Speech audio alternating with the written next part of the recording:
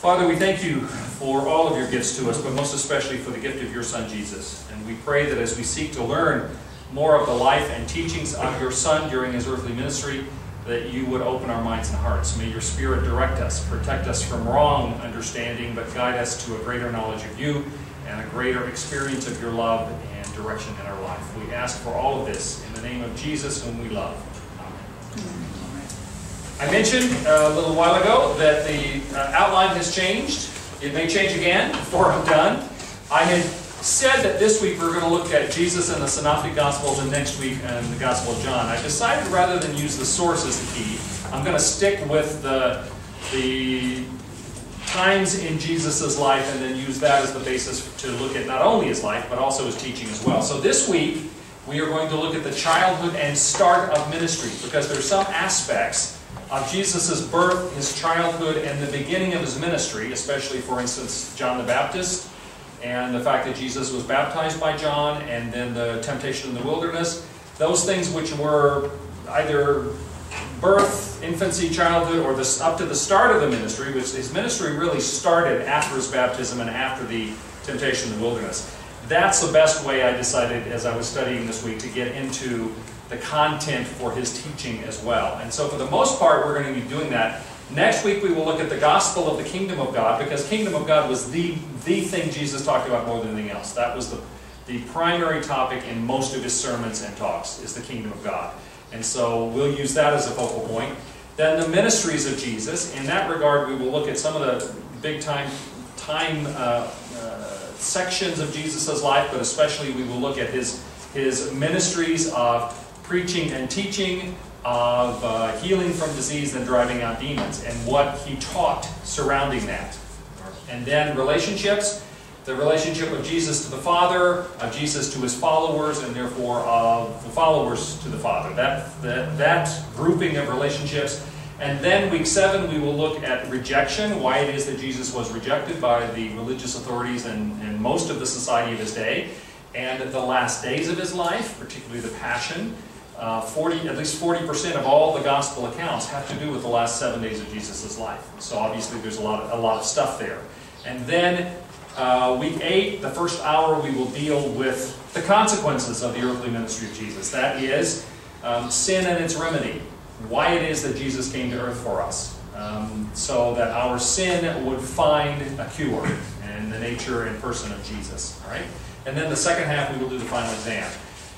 Again, I recommend you study for the exam and take it even if you're not doing this for credit because I think it's an advantage to you. You will learn more if you do that, and it really isn't hard. It's just a matter of doing it. Okay? All right. Um, any questions about that? So this is a different schedule. Even some of the topics that are the same have been moved to different days. The reading schedule doesn't change. But if you'd like to just know what the topic is for the week, again, the reading's the same by week. Uh, but you can either pick up a copy there or go to the website for that. All right, we've used this map several times. I was very pleased. Joanne told me she was reading her Bible and that this, this map leapt to her mind. She actually could picture where these places are, and that's great. that's what we want for all of us, is that we have a sense of the geography because that gives us, a, a, a, anchors us in the reality that this was a real time in a real place and that these are real people. This is not Grimm's fairy tales we're talking about here. This really happened. And these people are real people. And having a sense of the geography gives us, I believe, an extra anchor for the reality and the historicity of the life of Jesus and the church. Um, of course, this is Judea and Samaria. This was the old northern and southern kingdom. Here is Jerusalem with the Mount of Olives just outside the walls. Um, you get Bethlehem, which we're going to talk about today, Bethany, which is we'll get to later. That's where Mary and Martha and Lazarus lived, very near Jerusalem. Um, and then up here in Galilee, where Jesus spent most of his ministry. Nazareth, where he grew up. Um, Capernaum, right here on the northeastern shore, or northwestern shore, excuse me, is where he sort of established his home and base of operations during his, his years of ministry. So, we're going to get into um, the, particularly, some of the Nazareth and Bethlehem kinds of stuff today because we do want to start out today talking about the childhood and uh, childhood of Jesus and the start of his ministry. I've talked about this quite a bit in different classes, But we have to start, when we talk about the birth of Jesus, we have to start with the messianic expectation that existed in Israel before Jesus came.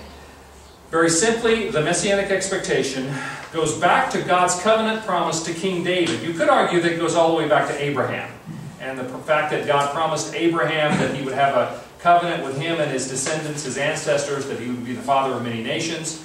You could talk about the fact that he said all nations will be blessed through you, if you're in our Pentateuch class. I emphasize that all the time, that when God established his covenant with Abraham, then renewed it with Abraham's son Isaac, and then renewed it again with Isaac's son Jacob. Every time Jesus says, or uh, God says, and all the nations of the earth will be blessed through you. So it's not just Abraham and his descendants, it's everybody.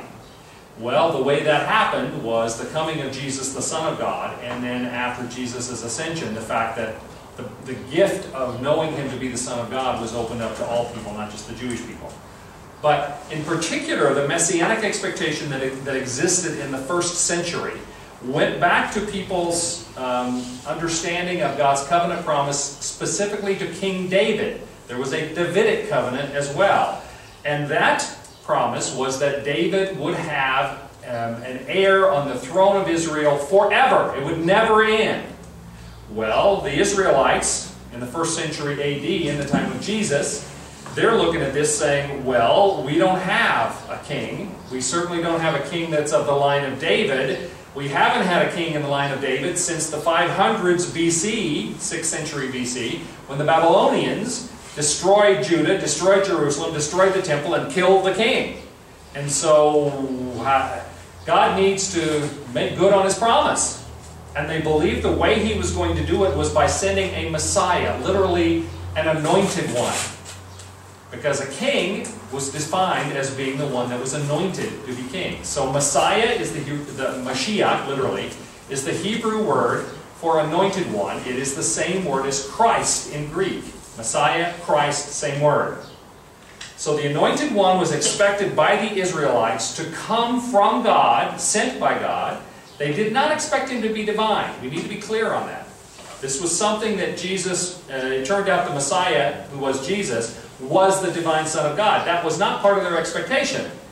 They thought he was going to be a human that is anointed and sent by God, very much like King David, and a descendant of King David, who would come in and, as King David had done, defeat all of Israel's enemies, reestablish the free nation of Israel, and in fact, would make them a great nation as they had been under King David and then later King Solomon, David's son.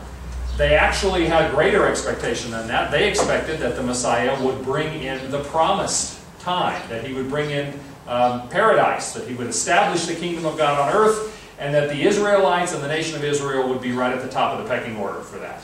Okay? Look at a couple of verses here. Now remember that King David was about 1000 BC. That's pretty easy to remember. All right? So this passage from 2 Samuel 7 is the covenant that God made with King David right around 1000 or 1050 BC. From 2 Samuel chapter 7. Now then, tell my servant David, this is God giving instructions to the prophet to communicate with David. This is what the Lord Almighty says I took you, that is David, from the pasture, from tending the flock, and appointed you ruler over my people Israel. I have been with you wherever you have gone, and I have cut off all your enemies from before you. Now I will make your name great, like the names of the greatest men on earth. And, here's the promise to Israel I will provide a place for my people Israel and will plant them so that they can have a home of their own and no longer be disturbed. Wicked people will not oppress them anymore, as they did at the beginning. And I have done, uh, and I have done ever since the time I appointed leaders over my people Israel. I will give you rest from all your enemies. The Lord declares to you that the Lord Himself will establish a house for you. When your days are over and you rest with your ancestors, I will raise up your offspring, that is David's offspring, to succeed you, your own flesh and blood, and I will establish his kingdom, which God did in Solomon, David's son. He is the one who will build a house for my name, and I will establish the throne of his kingdom forever. I will be his father, and he will be my son. When he does wrong, I will punish him with a rod wielded by men, with floggings inflicted by human hands. But my love will never be taken away from him, as I took it away from Saul when I removed, uh, whom I removed from before you. Your house and your kingdom will endure forever before me. Your throne will be established forever. Now, the part of this that refers to David's immediate offspring, Solomon, got fulfilled.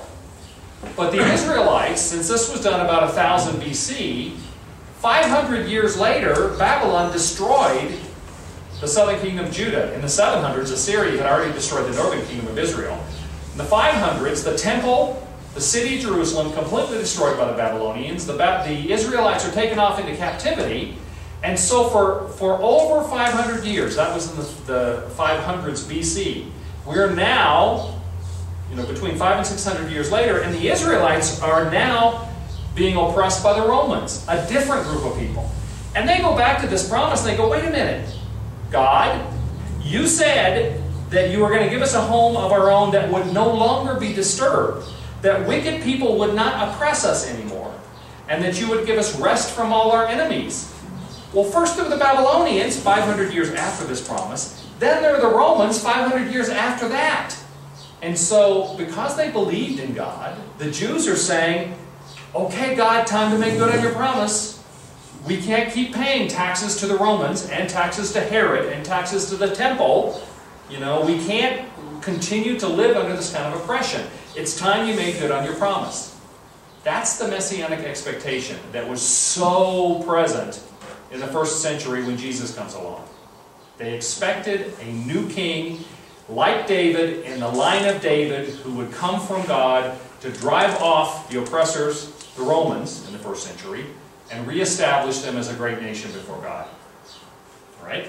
Now, in addition to the covenant promise that had been made to David, the promise of a Messiah or anointed one of God was reaffirmed down through history after, well, before there were promises, but after David especially. For instance, um, in Isaiah, more than any of the other prophets, but there's in several other prophets as well, we have the prophetic statements of Isaiah, which were seen by the Jews as promises of this Messiah to come. For instance, Isaiah 9, 6, and 7, which you will recognize because you hear it every Christmas. For to us a child is born, to us a son is given, and the government will be on his shoulders. And he will be called Wonderful Counselor, Mighty God, Everlasting Father, Prince of Peace. Of the greatness of his government and peace there will be no end. Here it is. He will reign on David's throne and over his kingdom, establishing and upholding it with justice and zeal. I'm sorry, justice and righteousness from that time on and forever. The zeal of the Lord Almighty will accomplish this. Now, we read this at Christmas because we understand this to be Jesus, which I think it was. I mean, this was a prophecy of Jesus. The first century Jews had been listening to this. This was written by Isaiah sometime around 700 BC. So this is about 300 years or so after David.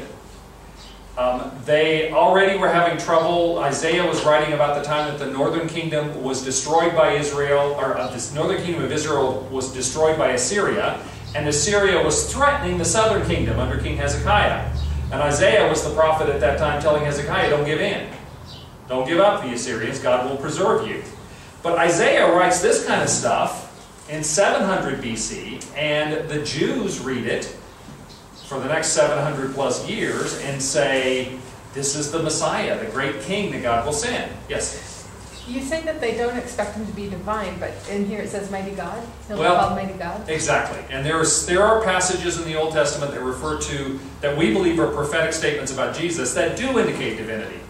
But that you know, they thought there's only one God. There's not going to be another divine somebody come along. That's exactly why the, the Jews had trouble with Jesus as being the Son of God. So there are pieces of this that they just like, okay, we don't understand that part. Oh, and they would okay. just skip over it. They were blinded. They were blinded by that. Okay.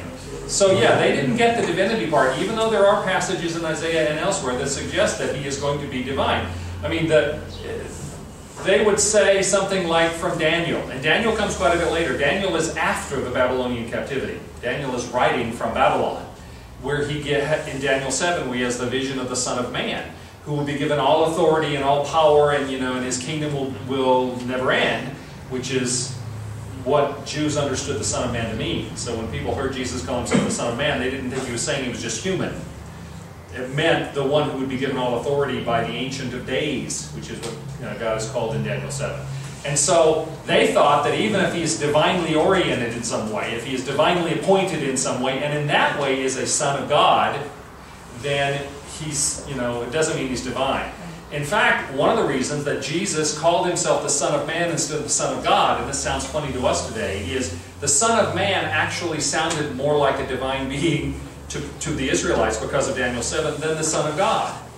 Um, a couple of the prophets call themselves the Son of God over and over again. Yeah, And so by Son of God, they meant, you know, a like a Um, child of God. a child of God, Like exactly. You know, I'm a child of God. Well, that's how they interpret Son of God quite often. And so one of the reasons uh, scholars believe, and I agree with this, that Jesus didn't call himself the Son of God more often, is that actually people would use that to say, oh, well, yeah, you know, he's a prophet. He's a wise teacher. He's a great rabbi. Because that's what prophets did, is they called themselves the Son of God. Nobody called themselves the Son of Man after, after Daniel 7 was written until Jesus. Because that actually has more power if you understand the Hebrew Scripture. You get that? Does that make sense? Okay. Um, and so they would see passages like this, Mighty God, and think, okay, Son of God, just one that's appointed by God.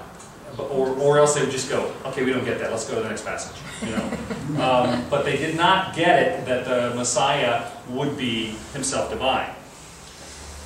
Another passage in Isaiah that deals with this is Isaiah 11. And Isaiah is chock full of this stuff. And you need to understand, Isaiah was considered the most important writing prophet of the Old Testament.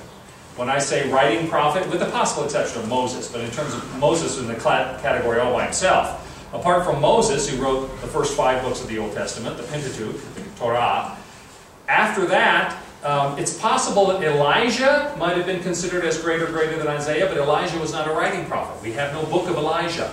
He's referred to elsewhere. Of the writing prophets, those who wrote books, Isaiah was considered by far the most important. So when we quote this stuff from Isaiah, that would especially have weight to any Jew or any Hebrew who had studied the Word. If Isaiah said it, it would carry more weight than if Jeremiah or Malachi or one of these other guys did. And all of them have references too. But from Isaiah 11, a shoot will come up from the stump of Jesse. Who's Jesse? David's Father, Father of David. So this is a this is a poetic way of saying that from the line of David. A shoot will come up from the stump of Jesse, from his roots a branch will bear fruit. The Spirit of the Lord will rest on him, the Spirit of wisdom and of understanding, the Spirit of counsel and of might, the Spirit of the knowledge and fear of the Lord, and he will delight in the fear of the Lord. He will not judge by what he sees with his eyes, or decide by what he hears with his ears, but with righteousness he will judge the needy. With justice he will give decisions for the poor of the earth. He will strike the earth with the rod of his mouth, and the breath of his lips he will, he will slay the wicked. Righteousness will be his belt, and faithfulness the sash around his waist. And here's where you get some of the imagery of paradise. You know, the ultimate um, new heaven and new earth kind of idea that the Jews have as well, just like Christians. The, the, the Jewish definition of the end of the world and what comes after is very similar to the Christian idea. And here's where you get some of that. The wolf will lie down with the lamb, the leopard will lie down with the goat, the calf and the lion and the yearling together, and the little child will lead them. Again, we use this at Christmas, but the Jews heard this as being the Messiah, the descendant of David, coming to make a new kingdom on earth as God's, God's new uh, realm.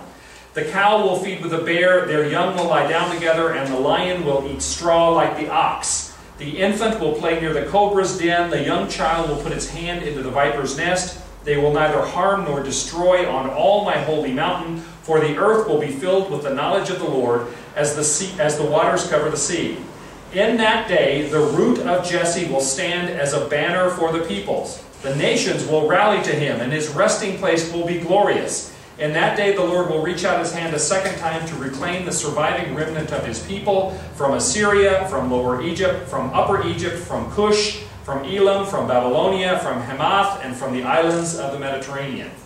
Some of the expectations for this Messiah was that he would bring paradise to earth, so there would be no more violence or death, that, and that he would recall all of the Jews to the promised land.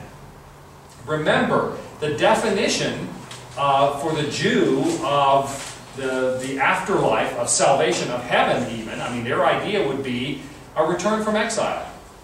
The Jewish people throughout most of their history have been in one way or another in exile. It's only very short windows of time that they've not been in exile.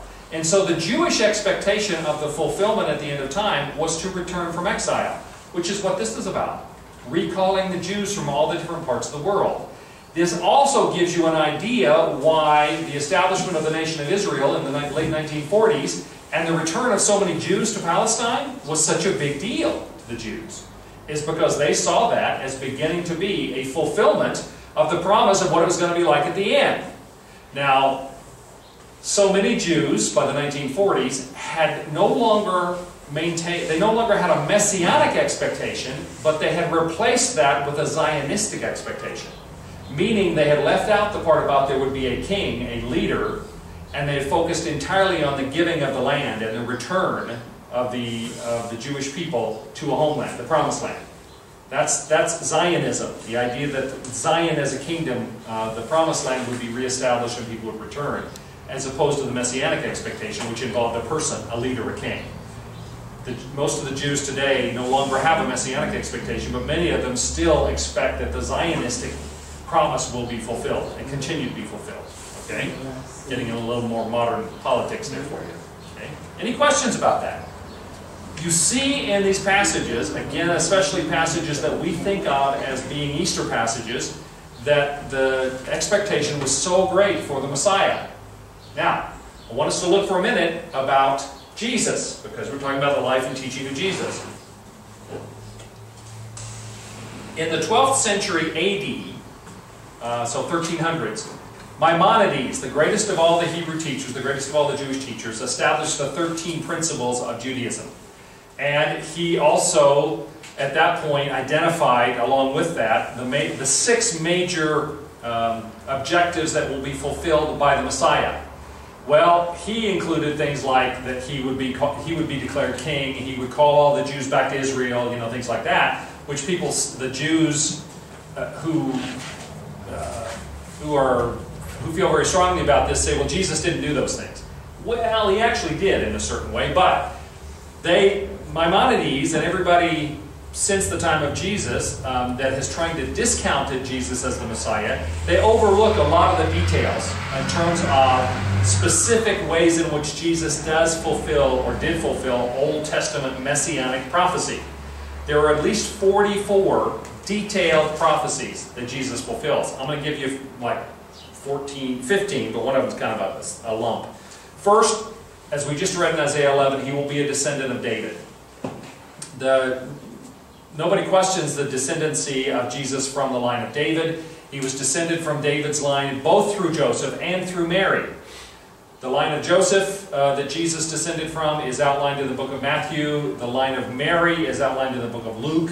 So, through both of his parents, that is his, his biological mother Mary, but his legal father, you know, because there was a legal, you know, as his stepfather, an adoptive father, Joseph was his legal father, and so he would have been an heir to that line. Um, both of those go back to David. So he was a descendant of David. He was born in Bethlehem, which is prophesied in Micah 5.2, and that actually is the prophecy that Herod and his scholars identified to tell the Magi where to find Jesus and where Herod then goes later to try to kill Jesus. Um, the Messiah was supposed to be associated with Galilee. Isaiah 9 talks about Galilee being, you know, the focus of the messianic expectation. Isaiah 7:14 says that the virgin will be with child and have a son, so the Messiah was to be born of a virgin. Um, Jeremiah 31:15 identifies that his birth would be accompanied by the massacre of children, which is the massacre of the innocents in Bethlehem right after the Holy Family escapes Herod, trying to kill this baby who was supposed to be the new king of the Jews, murders all the male children in Bethlehem. Um, the Hosea 11.1 says that the Messiah would spend some time in Egypt. Out of Egypt I have called my son, it says. Isaiah 40, 3 to 5 says that the Messiah would be uh, would have an advance man. He would have a forerunner, one who went ahead of him to prepare the way, which is John the Baptist. We'll talk about that. Zechariah 9 9 identifies that the Messiah will enter Jerusalem riding on the foal of a donkey. Um, Jesus did that in order that that prophecy would be fulfilled. Both Psalm 22 and Zechariah 12 say that the Messiah will have his hands and feet pierced and that his side will be pierced, all of which happened during the crucifixion. Psalm 22:18 says soldiers would gamble for his garments, which we are told they did. Was crucified, he had a cloak um, that was seamless. It was woven as one piece, which was made quite expensive. And we have the detail that instead of tearing it, they cast lots between themselves, the soldiers, in order to see who got to keep it. Psalm 69, 21, oh, I'm sorry, Isaiah 53, 12 says he will be crucified with criminals. Psalm 69, 21 says he would be given vinegar to, to drink. John 19 um, fulfills the, the idea that he would be declared king of the Jews. As I say, this is one of the reasons that, that Maimonides and others would have said Jesus wasn't the, uh, the Messiah because he wasn't declared king of the Jews. Well, he was, only not by the Jews. Um, all four of the Gospels recorded the fact that when Jesus was crucified, Pontius Pilate had a plaque nailed above his head that says, and the wording varies a little bit, some of them say, this is Jesus of Nazareth, King of the Jews. Some simply say, this is King of the Jews. But they all agree that Pontius Pilate declared Jesus to be King of the Jews. So in that regard, he was declared King of the Jews. Um, Psalm 2.7 says he will be declared the Son of God, and we also just read in Isaiah where that was, uh, he's identified as mighty God. And then a whole lot of stuff gets wrapped up in the, the, the story of the suffering servant in Isaiah 53. It talks about the servant who is despised, rejected, stricken, afflicted, pierced for our transgressions, punished so that we might have peace, silent to his accusers, buried among the rich, Remember that Jesus was laid in the tomb of Joseph of Arimathea, a wealthy man. And that he returned to life after having died bearing the sins of many. All of that is included in that one chapter of Isaiah. So in that regard, the, the huge messianic expectation that existed in the time of Jesus, his followers, after they got to know him, and his early followers were all Jewish, they began to see more and more. In fact, when you read the New Testament, the Gospel accounts especially, they will refer to these passages of Scripture and will say, and this was fulfilled in him. Or, for instance, that he rode into Jerusalem on a colt, the foal of a donkey, so that Scripture might be fulfilled. They looked back at it later and went, whoa, wow, he did that. And you remember that it says back here in Isaiah or in Jeremiah or in Psalms, so that those, those things would be fulfilled. So Jesus fulfilled the expectation for the Messiah. And again, the accusations that have been made that he didn't fulfill them, well, you can, very strong arguments have been made that he did. But if you have a bias to argue against something, then you can find excuses. Right? Any questions about that? Joanne? Well, did the people that didn't believe him just see that as Jesus just did those things so that he could say, you know, I am the Son of God because I did what the prophet said? Well, or they would say, I didn't see it, you say it so, but how do I know? you could be lying. I mean, there are a lot, an infinite number of excuses can be made for not believing those things. And yet we have the testimony of quite a lot of people that these things happen. As I say, one of the reasons that I believe God gave us four different gospels from four different perspectives. They're not inconsistent, they, but they see it from different sides. And so we have multiple witnesses who will attest to these things as having actually been true. Plus, when most, most of these things were written about Jesus, it was when there were still people alive who would have seen it who would have had the opportunity to say, that's not true, I was there and that didn't really happen. And yet we have no record of that, of anybody claiming that this was not true. Were there many writings around, circulated around during Jesus' ministry that the people were reading, or was it pretty much oral? You mean and for the Jews? Yes. Um, there was not original writing being done. No, the, the Jews in fact, one of the things that was distinctive about Jesus was that he spoke on his own authority. Jesus over and over and over again says, You have read it, you have heard it said that blah, but I tell you. Well, the reason why he would use that expression is because the rabbis in those days would, would have thought it was prideful and inappropriate and even unrighteous to, to teach of your own authority, to give your own interpretation, um, with rare exceptions. And so therefore, they would always quote somebody else. They would quote the Rabbi Hillel, or they would quote, quote the, the Rabbi Shammai. And Jesus comes along and he speaks with authority himself in interpreting Scripture, does not say, well, as Rabbi Hillel said, or you have heard it said by Rabbi um, uh, Shammai, da da da. Jesus spoke on his own authority, and it really was different. It made a huge difference. We're going to talk about that when we talk about the ministries of Jesus and the teaching. Jesus spoke with his own authority. That answers your question by the fact that no, there was not a lot of original writing going.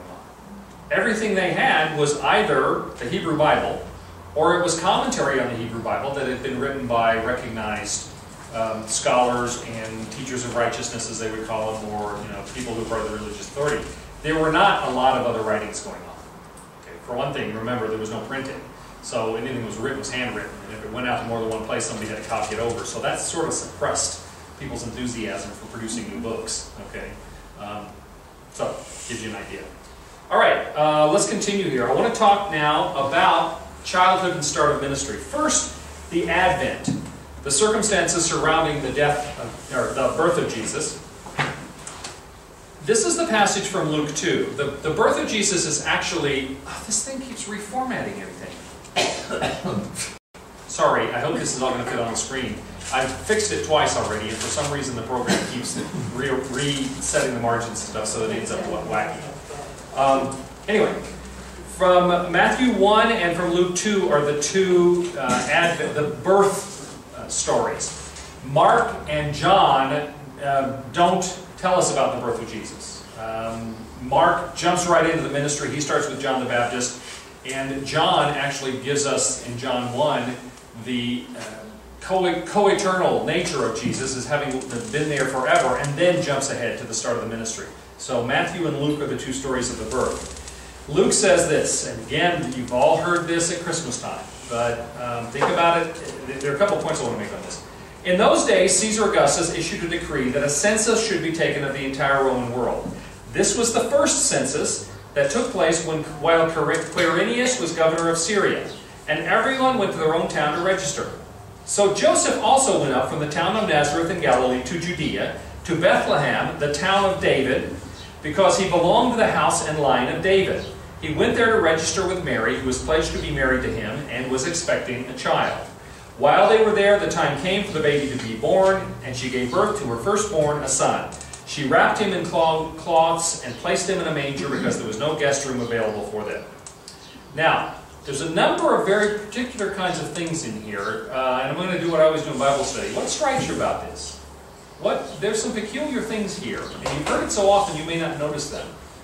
There are some very specific things that that are written there that can, you can almost pinpoint the date because of. Exactly. Exactly historical. Luke, especially, is very particular to make a point of the fact that this is a real historical event. And he tells you exactly who was the emperor at the time, Caesar Augustus, what was taking place at this time, the census, and not just any census, this was the, the first census that happened while Quirinius was the governor of Syria. Exact historical markers so that we can identify when this was and that it really happened. You'll also notice that um, the one of the aspects of this census is in order to count everybody accurately, they told everybody you have to go back to your hometown. Now remember, the Jews all associated themselves as being part of a tribe. Different tribes had been assigned different parts of the promised land originally. So to the extent that they still had the, the recognition, I mean, that they were part of a tribe that had a hometown, then they would go back to that hometown. In this case, they followed it back as far as David, because both, both Joseph and Mary were descendants of David, and Bethlehem was the city of David. Okay, that's where he came from. And so they were told, you have to go back to your hometown, so everybody got, go back to where you are, and so we can keep track of not only how many people there are, but, but who they're related to, who they're connected to. And so everybody goes back to their hometown. Um, anything else strike you about this? Joanne? Well, that they asked everybody to go back to their hometown because they were of a tribe. Why, how or why would Caesar care about that part? Well, simply as a, it's an organizational thing. The Romans were very organized.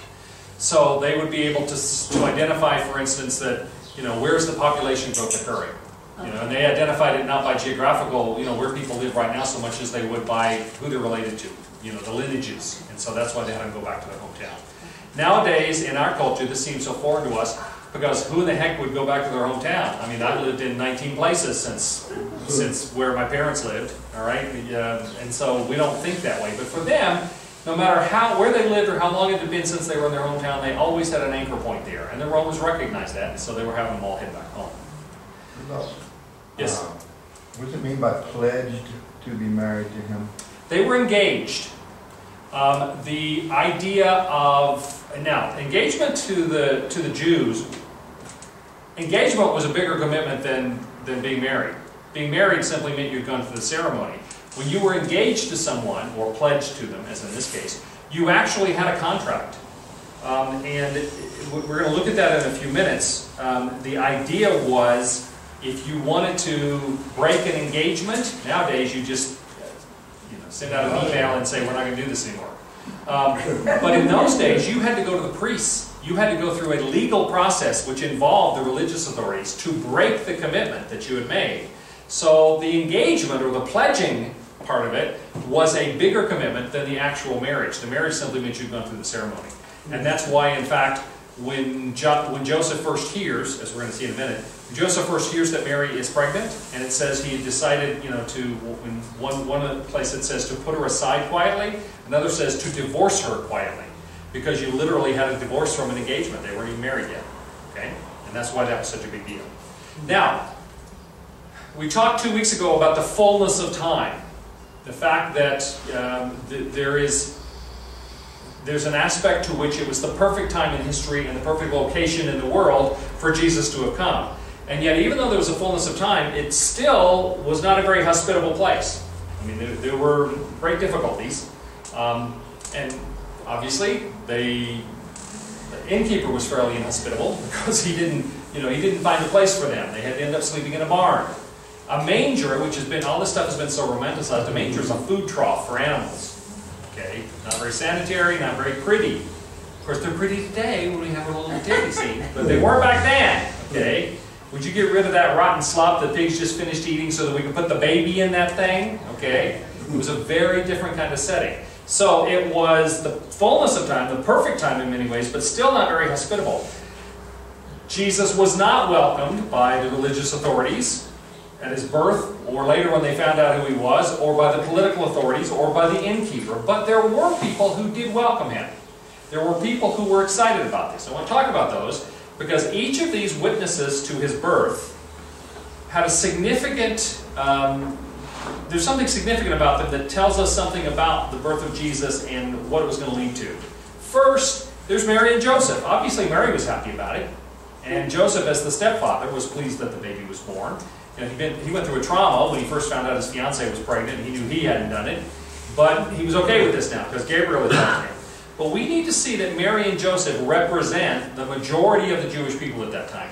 They were, they were simple, poor, and very Jewish. Both David, or both uh, Joseph and Mary trace their lineage back to King David, one of the great characters in all of Jewish scripture.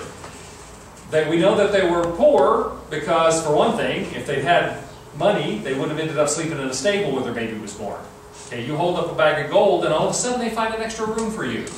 Okay, um, I saw a TV show once, and somebody went into a hotel and said, "I really need a room." They said, "We don't have any rooms." They said, I, "No, I really need a room." They go, "Well, we don't have a room." He said, "Well, you know what? The president of the United States is going to be here a little while, and tell me you don't have any rooms?" And they go, "Well." The President of the United States, we'll find him a room. And he goes, well, you know what, the president's not coming, so give me the room you're going to give to him. All right? Or if, if you had said Bill Gates is going to be here in five minutes, uh, we'll find him something. Okay? Same thing is true here. The innkeeper would have found a room if they had not been simple, poor Jewish folk. We also know they were poor because when they take Jesus to the temple to dedicate him, there, there are sacrifices required of, people who can afford it and sacrifices for poor people. And they did the two doves or two pigeons, which is the poor person's uh, sacrifice. All right? So Mary and Joseph obviously were witnesses to the birth, and they represented the common people. They were simple, they were poor, they were Jewish. Then you have the Magi who show up. We'll look at that passage later, but I want to make a point here. The Magi were the opposite in every imaginable way to Mary and Joseph. They were sophisticated and scholarly. These were great magi, probably astrologers, but that was back when astrology was the highest of all sciences. They studied history, they studied the stars, astronomy, astrology. They were learned people and very sophisticated. Very, they also were very wealthy. They brought very expensive gifts gold, frankincense, and myrrh. Frankincense and myrrh both were, were worth more than their weight in gold. So people would go, okay, they brought gold, but then this other stuff, you know, tree sap and something else. Those things were used for making very expensive perfumes. They were used in, in uh, funerary rites. They were very, very expensive, more than their weight in gold. And so they were wealthy. And they were foreigners. They were not Jews. Tradition has it that two of them were from Persia or somewhere in the east. We know that they were all from the east somewhere. But that one of them traditionally was also from Africa, who you know had been living and studying in Persia um, in the east and then came. They were the farthest thing from being Jewish. Then you have, of course, the shepherds.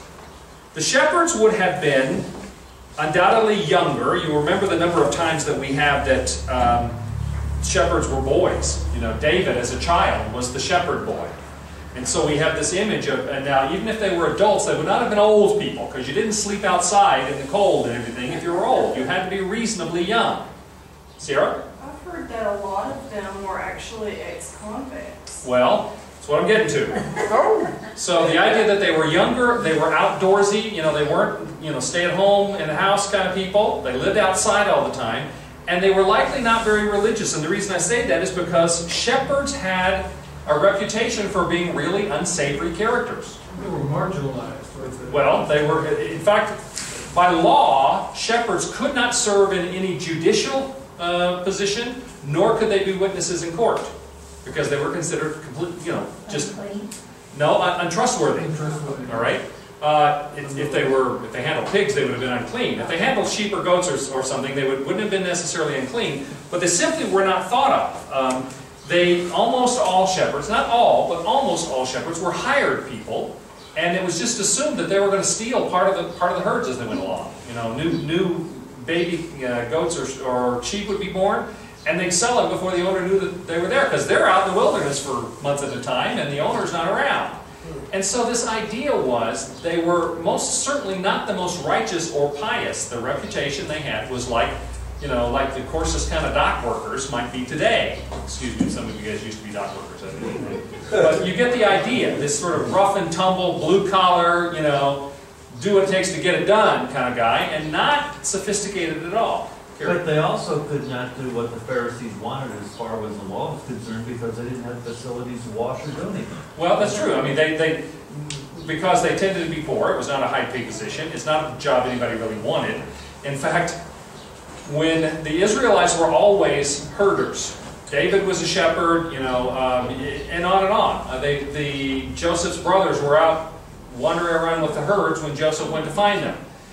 When they went into Egypt, one of the reasons the Pharaoh and the Egyptians all welcomed them is because the Egyptians didn't like having to take care of animals. They thought it was a horrible thing to have to do. And they were very happy that here's this group of people that do this all the time, and they're apparently very good at it. So let the Israelites, you know, take all the herds, you know, take care of your herds and ours too. Take them over to Goshen, away from the city, and take care of all the animals. And that way we won't have to mess with it. Because it was considered a, you know, a- an unpleasant, dirty, you know, low-life job. So the shepherds were the, the other side of the tracks kind of people.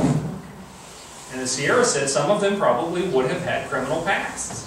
They also had to work on Sunday, it just hit me. Right. Sabbath, Saturday, yeah. Sabbath. Yeah, uh, they, they couldn't say, okay, you know, we're not going to work on this on Saturdays, the, the Sabbath day, because, you know, we're just going to leave the animals here and hope that they're here when we get back. You know, that's, that's not the way it worked. So, so a very different, the, the point I'm making here has to do with the difference in these groups. And then you have Simeon and Anna that we'll look at a little bit.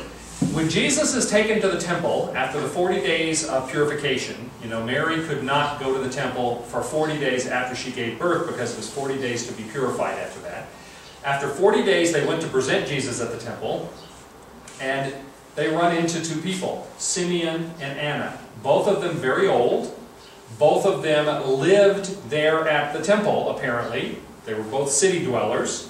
Um, and both very pious. They were righteous, sufficiently righteous, that both of them were able to detect immediately that Jesus was the divine Son of God.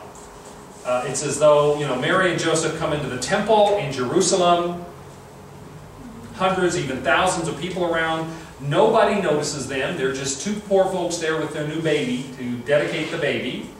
And yet, Simeon, who lives at the temple and has been a pious man of God for his whole life, as best we can tell, sees them and is enough of a man of God that he recognizes immediately that this is the Son of God.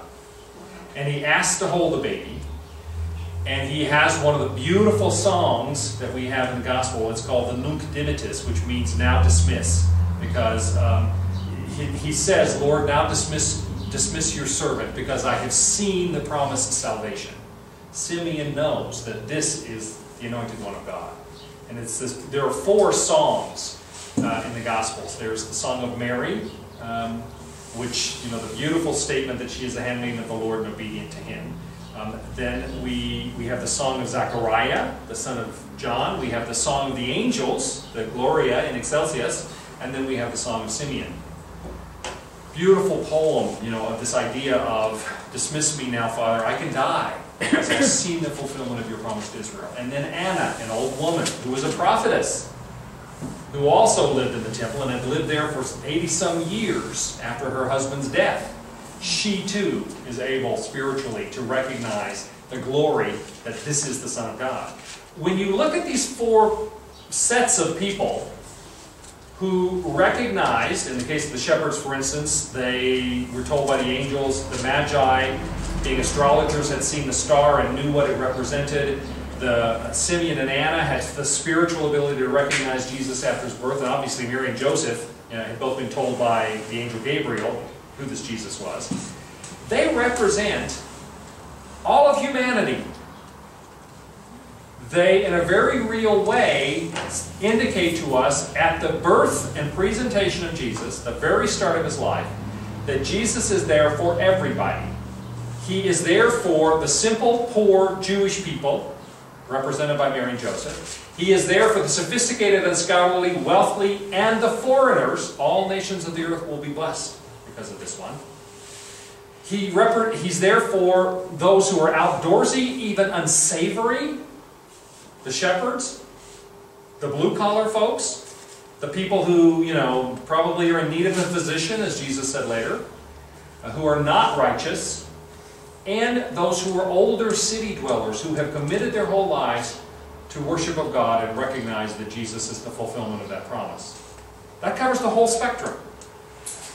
When Jesus is born and presented, we have clear indication in these people that all people of the world, young, old, rich, poor, Jewish, foreigner, righteous, unrighteous, all of them are the ones that Jesus came for. And that's a very powerful thing. Okay? And Jesus affirms that later on in his life. Okay? Any questions about that? Yes, Susan. Not exactly about that, what's the definition? I read that the synagogue is in the temple. What's the definition to separate the synagogue from? Um, they may have practiced some of the synagogue services in the temple. The, the temple was where was the throne of God. Literally, the Holy of Holies is thought to be God's place on earth. Uh, it is where the animal sacrifice was. It's where the priests presided. It was the center of both the religion and the, the culture and the government of the Jews. Synagogues, and, and there's only one temple, and everybody was expected to come there at least once a year. It was recommended they come there several times a year for different festivals, but they, they were expected to be there at Passover for sacrifice. Now, the synagogue was, was a gathering place away from the temple usually. Now it's possible they did synagogue services there, but synagogues tended to be out in the country. Um, they were places, there were no priests, there was no ordained ministers there. They simply had teachers, rabbis, and anybody who showed a proclivity for that and seemed to have a gift, a knack for it, could teach. You know, Jesus was called rabbi, even though he had no formal ordination of any kind. He was not of the tribe of Levi. He had no reason for that. But anybody could stand, read the scripture, and teach if they were an adult Jewish male. That was also a place where they had prayers together.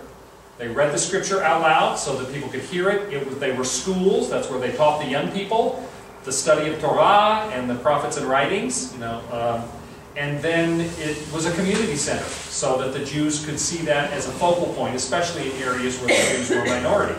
That was where they kept, got together to maintain their Jewishness. Remember that the synagogues were invented. Now, there had been some sort of synagogue away from the temple kind of places for gathering and prayer and, and reading of, of Torah earlier. But the synagogue system, as we understood it later and by the time of Jesus, was invented during the Babylonian captivity. The temple had been destroyed. And the Jews had to figure out how do we still worship God?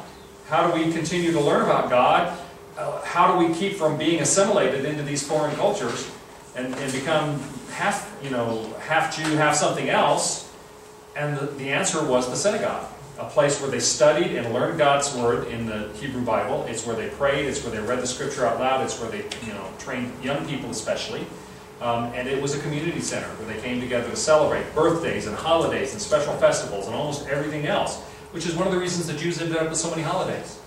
You know, if you've ever had friends who were Jewish, you know, and they and they they got a holiday all the time. I mean, they put the Catholics to shame in terms of how many special days they would take off. Uh, and that's one of the reasons was because they used that as a tool to make sure that they remembered their Jewishness during the time of captivity in Babylon. Okay, so I'm not familiar with synagogue and temple being in the same place, but it's not inconsistent because the activities of the temple and of the synagogue were complementary but not the same. Temple was priests sacrificing animals, you know, the, the, literally the Holy of Holies, the place where atonement was made. Synagogue was the place of reading of Scripture, of prayer, of community life, etc.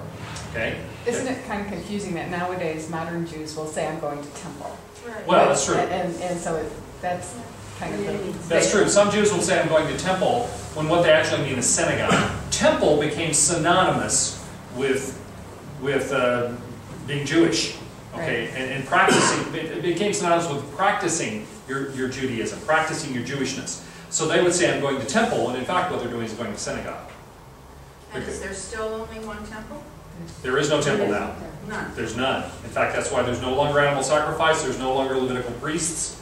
None of that has, has existed since 70 AD, which was when the, the, the second, the, the destruction of the second temple. When you study this stuff, they'll talk about the first temple era, which was between Solomon, when he built the first temple, the son of David built the first temple, up until the time the Babylonians destroyed it. So it was from about 950 BC to 586 BC. That's the first temple period. Then between 586 and about 500, you know, less than 100 years, uh, when the Persians defeated the Babylonians and let them go back, one of the first things they did was they started rebuilding the temple. And then Herod comes along, in, you know, the first century, and he, and he makes it beautiful again. He finishes it because apparently it was they had a temple, but it was pretty ugly after Zerubbabel and those guys built it. Um, and Herod fixed it up and made it grand again. But then the second temple period is from when Zerubbabel and the, and the people went back to Israel and rebuilt the temple up until 70 AD. So there's about a 500 year period in there that they had at the second temple. And then that was destroyed by the Romans. Today there is no temple. The Temple Mount in Jerusalem, if you go to Jerusalem, the Wailing Wall, or the Western Wall it's also called, is the only part of the temple that still exists. And that's why it is the holiest of all places to the Jews, is that it's the only part of the temple that remains. The Temple Mount, meaning the little hill, Mount Moriah, the little place where the temple existed, is now the site of the Dome of the Rock, that gold domed uh, mosque. It's a Muslim place of worship. Well, the Jew, it's not only would it be illegal, but the Jews, in principle, will not destroy another worship place. So they can't, you know, take it over by force and destroy it and rebuild the temple. But they expect that at some point God will send an earthquake or something to destroy the Dome of the Rock. And when they when that happens, they're ready to come in and rebuild the temple. They actually have, I think we've talked about that before in one of the classes, they have reconstituted all of the uh, accoutrement for, for the temple. They have the lavers and the sea and all of the sacrificial stuff and the horned altar and all of that stuff. The outfit for the priests is all made. The, Even the red heifer. well, and so their expectation is at some point, God will miraculously destroy the dome of the rock. They will rebuild the temple on the Temple Mount. It can't be anywhere else, it has to be there. And that they will reinstitute sacrificial Judaism at that point. That's the expectation of a fairly small group, but it's a very intentional group. Yes, Ron? Uh, I've heard it said it- it's comforting to know that the Muslims won't destroy the Temple Mount, like it's safe for a while. Um, that the Jew, Muslims own or the Jews? Muslims, they, they, they, they don't want anything bad to happen to that location. Right, well, Because it's there. Yeah, that's considered a holy site to all three monotheistic religions. Because that's where the temple was, it's believed that with, within what's now the Dome of the Rock, was the site where uh, Abraham was prepared to sacrifice Isaac before God stopped him. And it's the place from which uh, Muhammad is said to have leapt on his horseback into heaven. Um, and obviously, you know, it's as being the center of Jerusalem, it's a holy site to Christians. So, yeah, it's a pretty important place. Okay, we're going to take a break. Let's take 10 minutes. We'll come back at 2.15. Start back. I want to now uh, look at aspects of birth, infancy, youth, and start of ministry. So particularly, the birth of Jesus is represented, as I said earlier, in Matthew 1, 18 to 25, and Luke 2, 1 to 7. I gave you the Luke passage a minute ago, but here is the version of it in Matthew. This is how the birth of Jesus the Messiah came about. His mother Mary was pledged to be married to Joseph, but before they came together, she was found to be pregnant through the Holy Spirit. Because Joseph, her husband, was faithful to the law and yet did not want to expose her to public disgrace, he had in mind to divorce her quietly. Now understand, they're engaged. They're not technically married, but the commitment was so strong that it was called a divorce if you broke the engagement. It's also true that this shows you something about Joseph, uh, or I'm sorry, uh, uh, about, yeah, Joseph's character. Yesterday I was teaching about Joseph and, and his brothers, Jacob's son, so my, my mind is, is uh, slipping here. Uh, Joseph could have called for her to be stoned for having committed adultery because they were engaged. The fact that he did not want to disgrace her but wanted to divorce her quietly is an indication of his character. Right? But after he had considered this, an angel of the Lord appeared to him in a dream and said, Joseph, son of David, do not be afraid to take Mary home as your wife, because what is conceived in her is from the Holy Spirit. He, um, she will give birth to a son, and you are to give him the name Jesus because he will save his people from their sins. Jesus is a version, is sort of a Latinized version of the name Joshua, which means God saves. Okay? That's why it says Jesus because he will save his people from their sins. All this took place to fulfill what the Lord had said through the prophet. The virgin will conceive and give birth to a son, and they will call him Emmanuel, which means God with us. That's from Isaiah. The virgin will be, uh, conceive and give birth to a son. When Joseph woke up, he did what the angel of the Lord had commanded him and took Mary home as his wife. But he did not consummate their marriage until she gave birth to a son, and he gave him the name Jesus. There's a lot of stuff in here, but one thing I would point out to you, in, in respectful disagreement with our Catholic brothers and sisters who maintain that Jesus was ever virgin, or that Mary was ever virgin, um, that she never had any other children, and the other children that are identified in the New Testament are cousins or something else, but that she remained a virgin throughout her whole life. The fact that it says, um, was pledged to be married to Joseph, but before they came together, she was found to be pregnant. And then down here, but he did not consummate their marriage until she gave birth to a son. Both of those passages seem to indicate that after Jesus was born, they consummated their marriage as a married couple, and that she. Then the other passages that say that Jesus had brothers and sisters, including the idea that James the Just, who became the head of the Jerusalem Council later on uh, in the book of Acts, was the half brother of Jesus. Half brother meaning the child of both Joseph and Mary. Yes. On what basis do they, do they say that they were cousins when the scripture in English is translated very clearly? Well, brothers and sisters? The Hebrew word, which is usually translated brother and sister, could be translated as just a relative. But they're straining to make it say that, and the reason they do it is they start with the premise that Mary had to be different.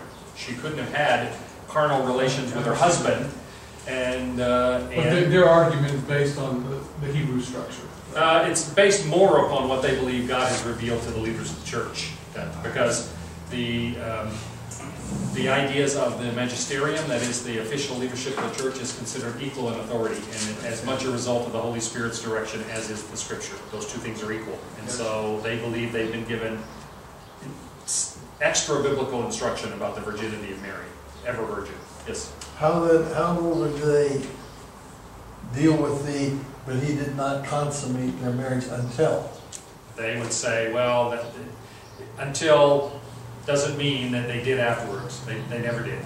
And he's just, that's just, the Catholics would say that means they didn't consummate their, their marriage uh, uh, before Jesus was born, and they didn't after either. Okay? That's a- I, don't ask me to defend it. I disagree with it. Marvin? Well, they have an interesting concept whereby since Mary's womb bore the holy child of God, that to defile it afterwards and have normal men born of her would be like Yeah. defiling the temple of Jerusalem. So, Right. It's an honorable thought. Right. Um, Right. And uh, there's a lot of other stuff having to do with, uh, and, and I don't think, I don't think we as Protestants give Mary enough credit, just so you know. But I believe they go too far. For instance, the idea that Mary was born sinless, that Jesus was without sin because Mary was without sin. That's part of the doctrine. Um, and the fact that Mary was, was assumed into heaven at her death, just, you know, automatically. Um, there's a lot of other stuff having to do with that, which are, which I believe are doctrines built up to try to defend a premise that they have about Mary that's not biblical. And I think we'd be remiss though to be fighting with them over these No. because they're pretty much extraneous to the whole message of the gospel. So if we want to divide, then we can fight over it. Otherwise, we can say, I don't know. As far as I know, this is what I believe and Right, and those of you who've been around know that I, you know, I've, I've said many, many times, I have brothers and sisters in the Lord who are Catholic, and I know they love the Lord, I know they'll see them, I'll see them in heaven, and there I can go neater, neater, neater on those things. But, uh, you know, they are saved. The difficulty is that when the focus becomes uh, more on Mary than on Jesus, or on Mary and Jesus equally, you know, there was great fear. I have great respect for John Paul II, but there was real fear because he was a Mariologist, that he, before his death, they thought he might declare Mary co-redemptrix with Jesus. And if he'd done so, the rift between Catholics and Protestants would have been irreparable. But rather than dwell on the differences, we should dwell on the similarities. But I'm teaching you content, and so we have to get into some of those views Yeah, how we I- disagree. I asked the question and he responded. And, and, and it's not to, it's not to, you know, uh, smack Catholics around or anything, it's simply to say there are ways in which we differ, and here's one of them. Joanne? Um, I, I heard somewhere that, and I don't know if this is true, we'll ask the question, is that uh, a lot of the Jewish girls had hoped that they would be the Mm-hmm. mother of Jesus. Those who were of the line of David, yes, it would have been uh, not uncommon. The ex- that's back to the messianic expectation was so strong that God, you know, we're surprised God hasn't done it already. But any day now, Somebody's gonna get. somebody is going to, you know, give birth to the Messiah because they expected him to be a person of the line of David. And so every, you know, the line of David was pretty big. And so any any young Jewish girl who was the line of David probably did dream that she might be the one who would bear. So that would make it easier for Joseph to also understand the dream. Well, uh, there was nothing about, even though it says a virgin will conceive and give birth to a son, they could go back later and point to that and go, yeah, that's what, you-" but that was not what they really expected. You know, that was not in the front of their mind with regard to their messianic expectation. Even though we look at this prophecy now and understand them, in hindsight, they thought that this was going to be a human being of the line of David, like David, or maybe like Judas Maccabeus, who had led the Hasmonean, uh, you know, the, the Maccabean rebellion that led to the, the Jewish kings of the Hasmonean um, monarchy.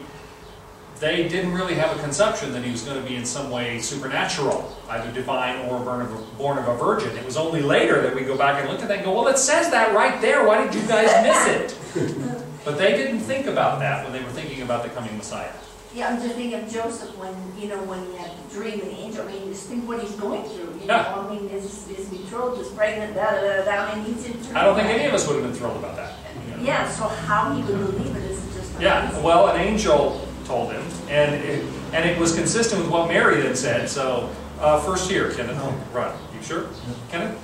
Well, I mean, just if you stop and consider what Mary was choosing when she said yes to God, that all the rest of your life you're going to be viewed as someone who had, you know, who was an, uh, committed Immoral. immoral, that your son was, you know, illegitimate, and that you think about, I grew up in a small town, that's going to follow you for the rest of your life, and everybody's going to know, and they're going to remind you for the rest of your life. And Well- you think about, You're absolutely right, and in fact, the, the consequences for Mary were potentially worse than even any of us who come from a small town might have imagined. We can imagine what it's like for somebody to, you know, to get pregnant out of wedlock and have an illegitimate baby, and for everybody to always go, oh, other girl. But think about a culture where they stoned women for doing yeah. Yeah. Okay, and that was acceptable to, to stone them for that. Yeah, it's a, it's a whole different category of, of uh, judgment that, that she would have undergone. So, I mean, even talk, tell her telling her dad about it. Or, you know, right. yeah, tell me another one, Mary. You know, and it would take a visitation mm. by an angel. Spoken like a dad. I mean, it would take a visitation by an angel to convince Yeah. someone of something other than. Okay, a couple of real quick ones, and then I got I got to get going. or We're gonna not finish. Were you saying that the Jewish girls now still? No, no, no. In, in Mary's time, in, in Oh. Jesus, leading up to Jesus. Yeah, There but were- not, No, not now. No, the expectation for the Messiah is very dim in Jewish people today. Most of them have replaced that Jewish that messianic expectation with a, a Zionistic expectation. The focus is on the Promised Land and the re- return to Israel and all of that. Jerry? How did Joseph come up with the name Jesus? Well, um, Mary was told, you, you'll name him Jesus. Oh, Mary Okay, told. The, the indication that they were told, you'll name him Jesus because Well- he will be the savior of his people. Joseph was told Or that Joseph, there. Joseph was told. Right, right in Okay, that passage. yeah. You already give, you already given the name Jesus. Uh, I'm above that, yes. She will give birth to a son and you are to give him the name Jesus. Jesus, there you go, because he will save his people from his sin. That's where I said Jesus is the version, is the Greek version of Joshua, which means God saves. Okay, Okay. I got a lot more stuff to do. Let's get to this. Let's talk about the circumcision and presentation of the temple, which are right next to each other in Luke. On the eighth day, when it was time to circumcise the child, all Jewish males are circumcised on the eighth day. Um, the name the angel had given him before he was conceived, when the time came for the purification rites required by the law of Moses, that's 40 days after birth, before Mary could appear at the temple, Joseph and Mary took him to Jerusalem to present him to the Lord. As it was written in the law of the Lord, every firstborn male is to be consecrated to the Lord, and to offer a sacrifice in keeping with what is said in the law of the Lord, a pair of doves or two young pigeons. As I said earlier, that's the sacrifice that was allowed for people who were too poor to offer a lamb or other, you know, larger animals as part of the sacrifice. The, um, in the most ancient times for the Israelites, the firstborn would be consecrated to God in a way in terms of giving them to the temple to serve there, as happened with Samuel, for instance. Um, but by this time, the, the Israelites or the Jews had grown so large that if everybody did that with their firstborn, they'd have a whole town full of guys standing around wondering what they're going to do now because they've been consecrated for service. Instead, they had reached the place now where to consecrate simply means to spiritually dedicate to the Lord, but then take them home again. You know, don't leave them at the temple like they did with Samuel. All right. Um, and so Jesus was circumcised as a Jewish boy would have been. After 40 days, they went to the temple, and it was while they were there at the temple for the consecration rites and offering the sacrifice of consecration that Simeon and Anna both recognized that this is the promised one of God. Now, um, again, birth and infancy, this is the story of the Magi, which I want to go through, because it too, and you'll notice how often in these passages we have references to the prophetic expectation. All of these are messianic prophecies that were expected to be fulfilled, and then once Jesus came, everybody's going, wow, look at that one, look at this. People began to recognize that these writings, which we know were a long time before Jesus, actually were specifically fulfilled in Jesus. From uh, this is from Matthew, the second chapter. After Jesus was born in Bethlehem in Judea, during the time of King Herod, Magi from the east came to Jerusalem and asked, "Where is the one who has been born King of the Jews? We saw his star when it rose and have come to worship him." The Magi would have been scholars, particularly astrologers, but astrology was the high was a high science back then. It was not it was not the column that you read in the newspaper, okay, where everybody basically is the same. Uh, it was a very scholarly pursuit. In fact, it's believed that they had access to knowledge that, uh, because they were such scholars, that ordinary people didn't have. Magi is the root for our word magic or magician. Because the idea that they somehow, because they were so scholarly and so learned in these mysteries of astrology, that they could do things we couldn't do. But it was a very respectable thing back then, unlike today. When King Herod heard this, he was disturbed, and all Jerusalem with him. Here's another king? Herod wouldn't like that. When he had called together all the people's chief priests and teachers of the law, he asked them where the Messiah was to be born. In Bethlehem in Judea, they replied, For this is what the prophet has written. But you, Bethlehem, in the land of Judah, are by no means least among the rulers of Judah, for out of you will come a ruler who will shepherd my people Israel.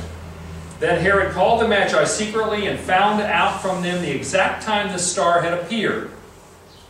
He sent them to uh, Bethlehem and said, Go and search carefully for the child. As soon as you find him, report to me, so that I too may go and worship him. Liar, liar, pants on fire. he had no interest at all in worshiping. Okay? Now, the, there's a reason why he wanted to find out when the star was, because later on he has all children two years and younger. He wanted to know how old this baby might be so that he'd have a target when it came time to try to do something about it. This continues. After they had heard the king, that is the Magi, they went on their way, and the star they had seen when it rose went ahead of them until it stopped over the place where the child was. When they saw the star, they were overjoyed. On coming to the house, they saw the child with his mother Mary, and they bowed down and worshipped him. Then they opened their treasures and presented him with gifts of gold, frankincense, and myrrh. And having been warned in a dream not to go back to Herod, they returned to their country by another route. Now, this almost certainly happened quite a while after Jesus was born. Apparently, Joseph and Mary and Jesus stayed for quite a while in Bethlehem. And the reason we say that is because um, we know that Jesus was circumcised at the eighth day. They then went back to the temple at the 40th day after he was born, the period of purification, and offered a sacrifice to consecrate Jesus, and it was the sacrifice of poor people, which they probably wouldn't have done if they had just gotten all this gold and stuff. And then we also have um, the period of time when they go down into Egypt and then come back again. I'll talk about that in just a minute. The flight into Egypt and the murder of the innocents. In let's talk about that right now. When they had gone, that's the Magi had gone, an angel of the Lord appeared to Joseph in a dream. Get up, he said, take the child and his mother and escape to Egypt. Stay there until I tell you, for Herod is going to search for the child to kill him. Herod's going to get rid of the competition. So he got up, took the child and his mother during the night, and left for Egypt, where he stayed until the death of Herod. And so was fulfilled what the Lord had said through the prophet, Out of Egypt I called my son. Again, you keep seeing these messianic prophecies uh, referred to. When Herod realized that he had been outwitted by the Magi, he was furious, and he gave orders to kill all the boys in Bethlehem and its vicinity who were two years old and under. There's that when did you first see the star coming into play. In accordance with the time he had learned from the Magi. Then what was said through the prophet Jeremiah was fulfilled. A voice is heard in Ramah, weeping and great mourning, Rachel weeping for her children and refusing to be comforted because they are no more. Now, we tend to have this vision thousands and thousands of babies were killed. Well, Bethlehem was not a very big town, and there were not that many towns in the vicinity. We were talking maybe a hundred at most, or so. That's enough to have been slaughtered. I'm not diminishing that, but we do just need to have a historical perspective on it. How So, long- How yes, long, how long were, were uh, Joseph and Mary in Egypt? we don't know. There's no indication. All we know is pretty much what you've seen here, and this next passage, the return of Nazareth. I have a question. Yes. Uh, What says in Ramah, is Ramah the area around Bethlehem? Correct. Yeah. And then Rachel, Rachel? Rachel, Rachel was the, the uh, one of the wives. She was the beloved wife of Jacob, And in the same way, they might say they were children of Abraham. Okay. They're talking about babies, and so they're, they're, they're hearkening more to the mother kind of thing. And so Rachel was the wife of Israel, the father of the 12 tribes of Israel. And so Rachel is a symbol for the mother of all of the Israelites. You know, and so the, the death of these children strike at the heart of the motherly instinct of all Israel.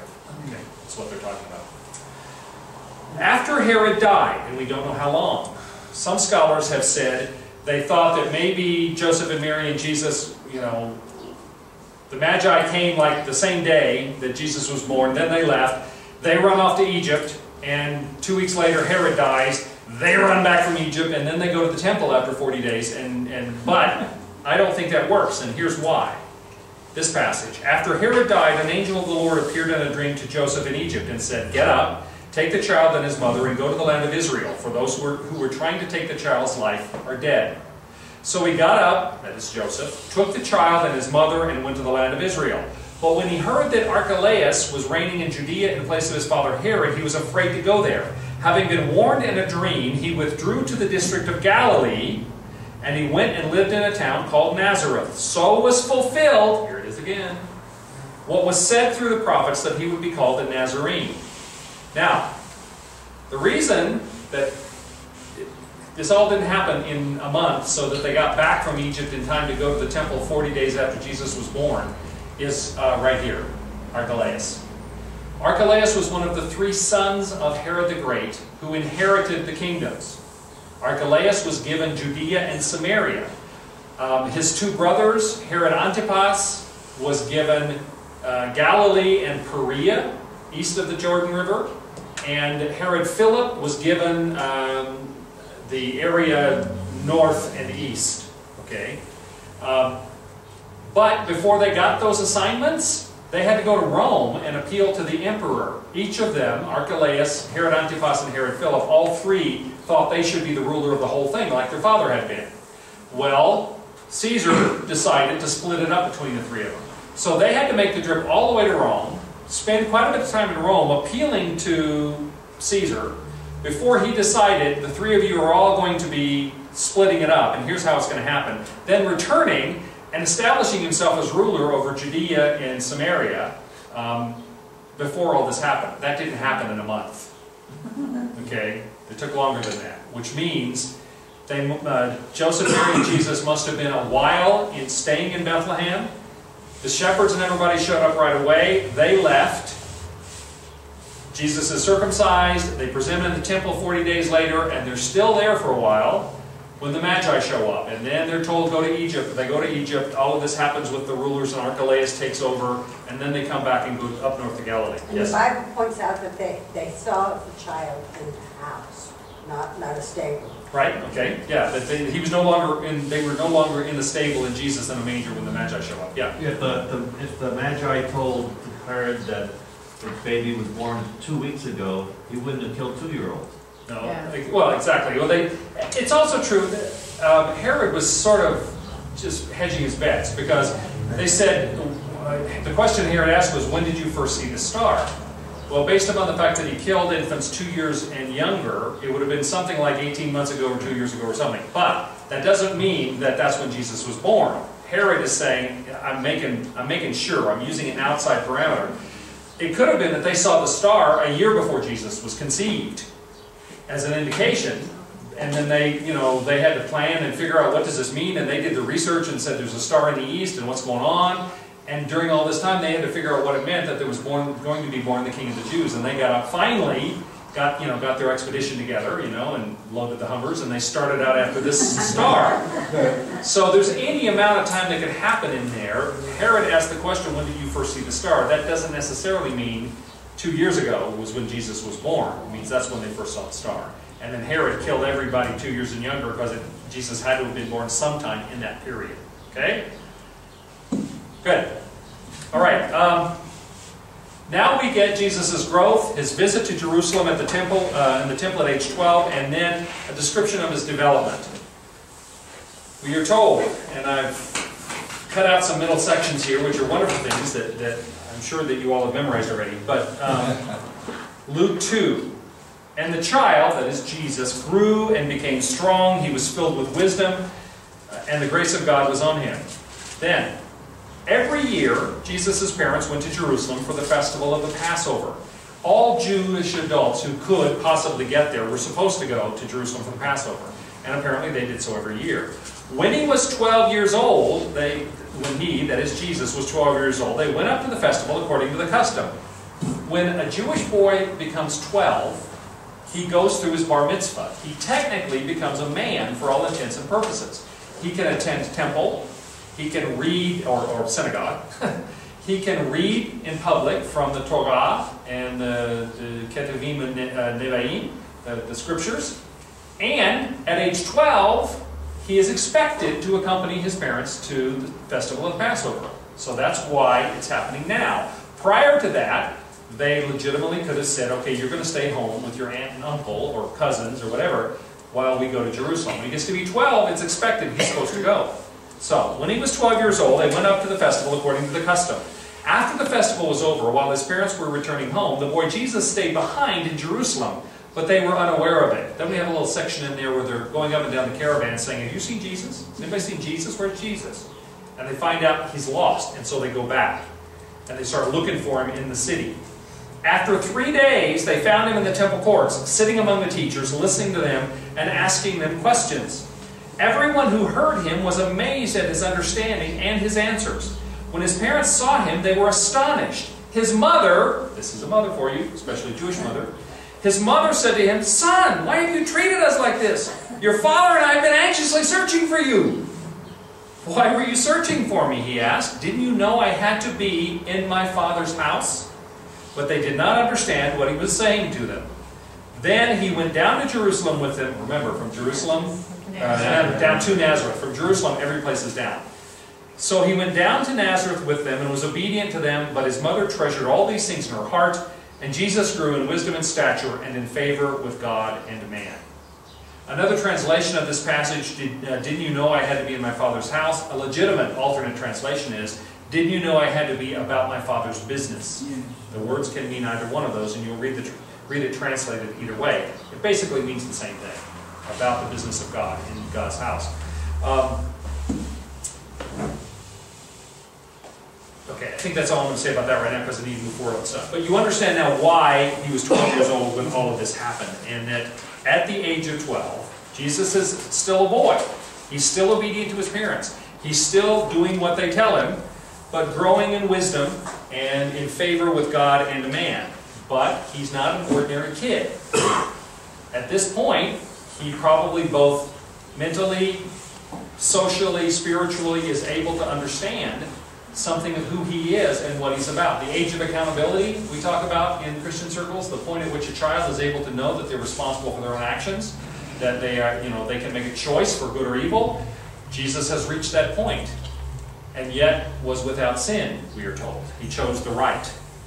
Okay, um, I want to now look at the forerunner, John the Baptist. John the Baptist is a critically important part of the Jesus story that, again, we don't often give enough credence to or enough, enough emphasis on. Um, there are several prophecies about the coming of John the Baptist, particularly the two I've listed here. Isaiah 40, 3 to 5 says this A voice of one calling, In the wilderness prepare the way for the Lord, make straight in the desert a highway for our God.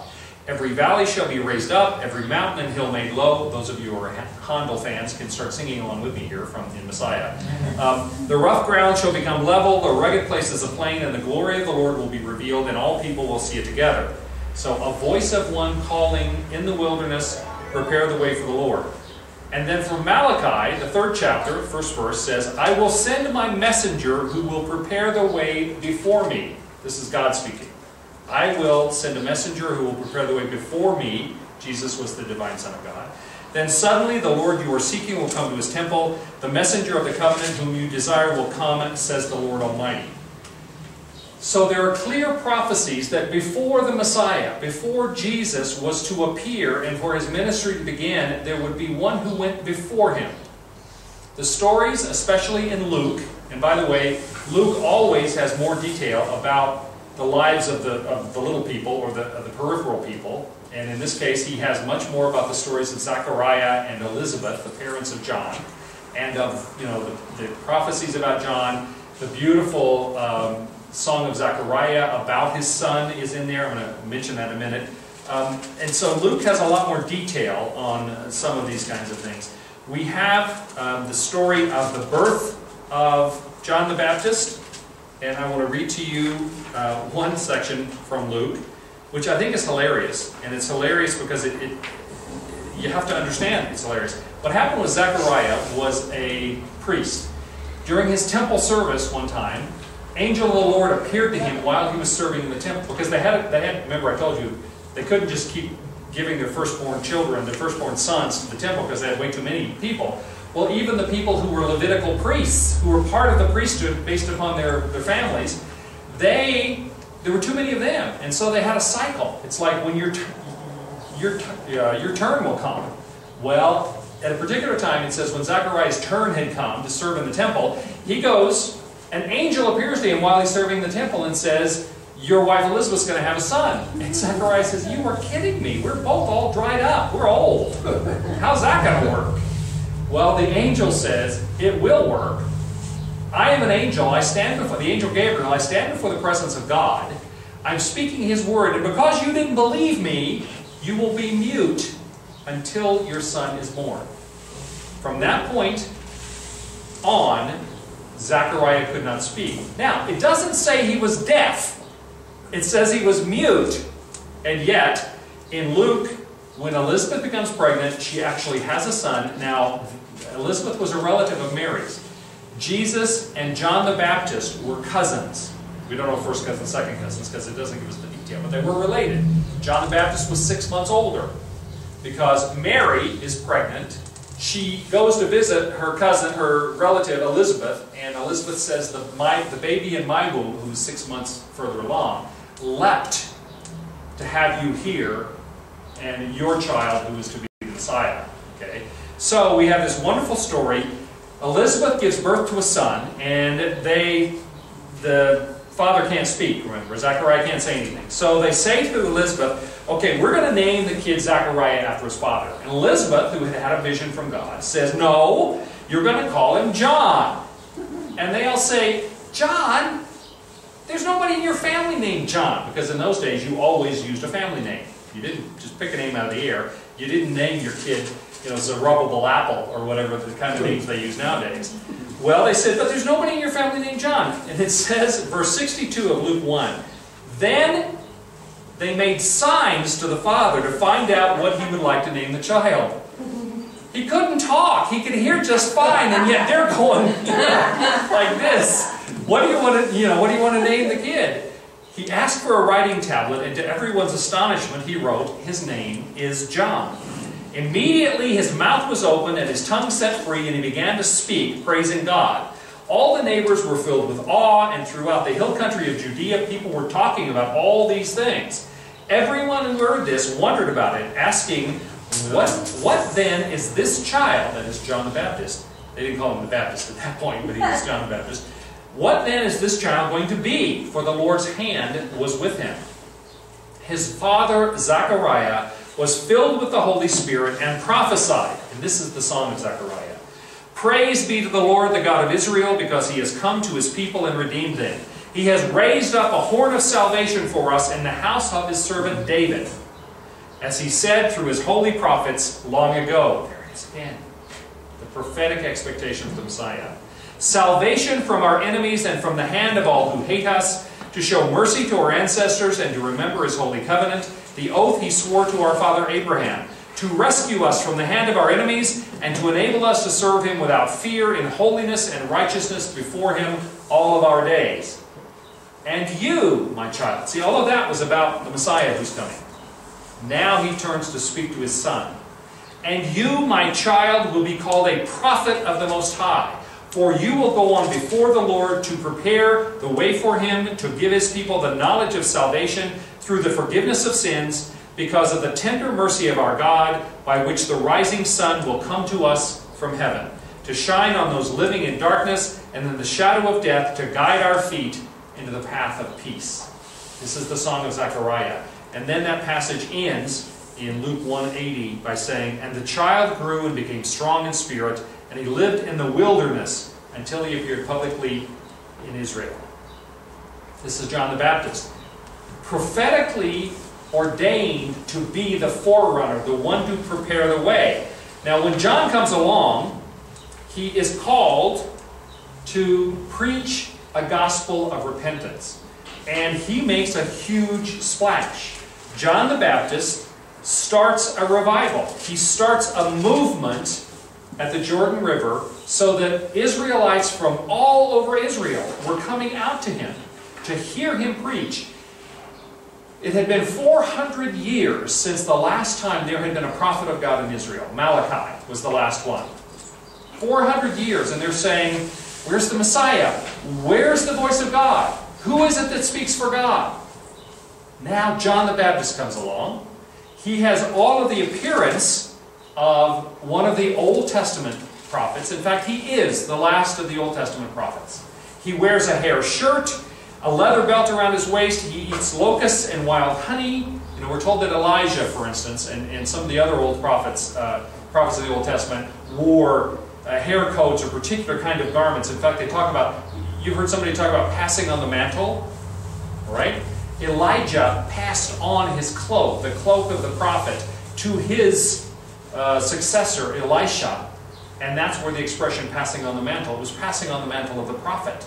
Well, John dressed like a prophet. He ate weird stuff like a prophet. He lived out in the wilderness. This was a revival of spirituality. And we find in, um, in I think this is Luke, yeah, Luke 3, it says, John said to the crowds coming out to be baptized by him, because again, people were coming out. It was very fashionable to go out and hear this John, this crazy man in the wilderness. But people would come out, and either, a lot of them may have come out for curiosity's sake, but they heard the preaching of John to, to confess your sins, repent of your sins, become righteous before God, and they listened. And a lot of them did. There was a spiritual revival happening. John said to the crowds coming out to be baptized by him, You brood of vipers. That always gets your congregation right there with you. I'm going to have to try that. you brood of vipers, who warned you to flee from the coming wrath? Produce fruit in keeping with the repentance. Do not begin to say to yourselves, We have Abraham as our father. For I tell you that one of these stones, that out of one of these stones, God can raise up children for Abraham. The axe is already at the root of the trees, and every tree that does not produce good fruit will be cut down and thrown into the fire. So, the religious leaders, there's all this spiritual revival's happening.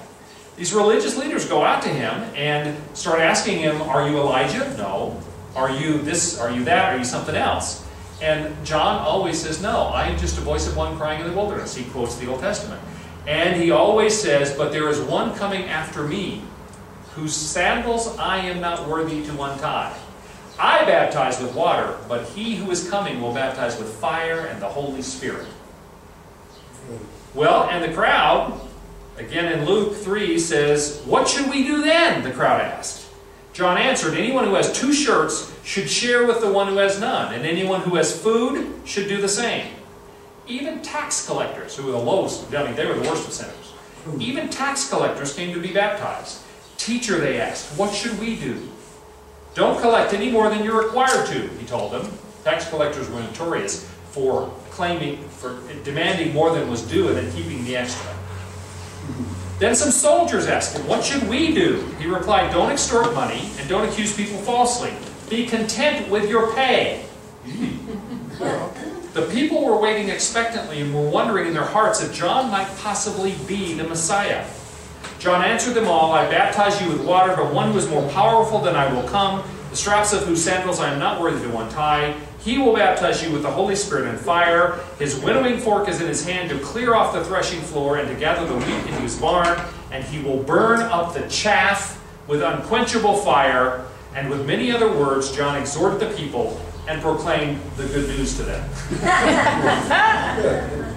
now, Jesus uh, was witnessed to by John. John said there is another one coming. When Jesus appears to John, John testifies, Behold the Lamb of God.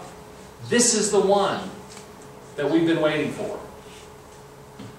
When John, later on, when his, his apostles say, well, you know, he's, he's preaching and he's doing all this stuff, John's response is, I must decrease that he might increase.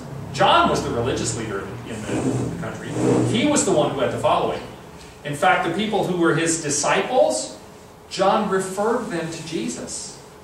The very first of Jesus' disciples had been disciples of John. Andrew, the brother of Peter. Nathaniel.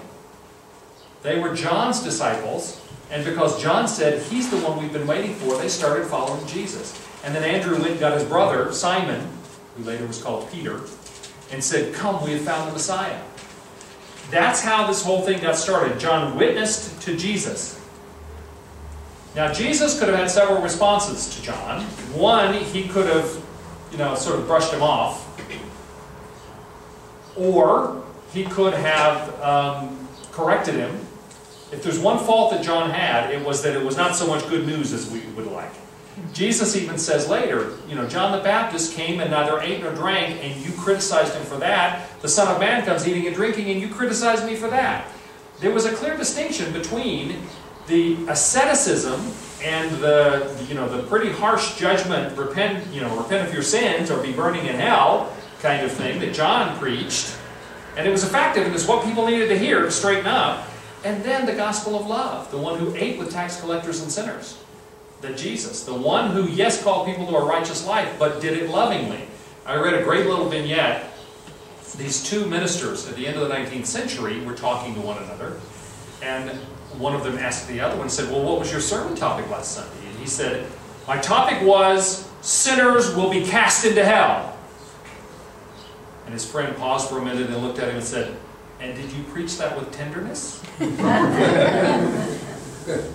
you know, Sinners will be cast into hell was John's message. Jesus did not change that message, but he preached it with tenderness. And most especially, Jesus affirmed all that John the Baptist had been doing in preparing people and, and shaking people awake about their sinfulness and their need to be right with God. He prepared them, and that's what his job was for the message that would come in the Messiah. John the Baptist, as I say, I don't think we give him nearly enough credit. He was critically important to prepare in advance of the coming of Jesus so that people would be ready for that. Okay? Question? Comment? Okay, stretching. All right. Uh, John the Baptist then, because he didn't pull any punches with anybody, John the Baptist uh, was preaching on the Transjordan, east of the Jordan River, and that is part of the, the area known as Perea. The ruler of that area, as well as Galilee, was Herod Antipas, one of the sons of Herod the Great. Antipas had married his sister-in-law, and there's no indication they'd gotten a divorce.